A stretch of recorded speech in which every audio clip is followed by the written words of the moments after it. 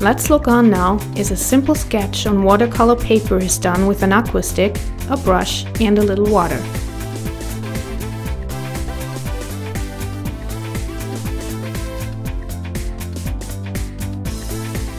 We can already see the first few lines.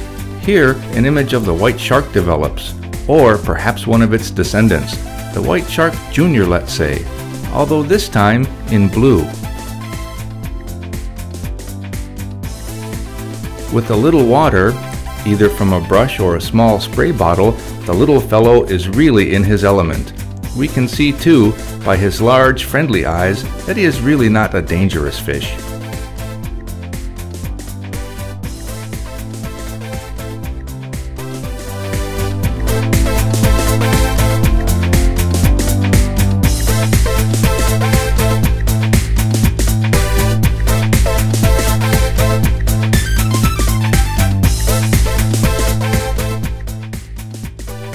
Also, the background environment can be applied with water, so that now our little friend really is at home in his own little world.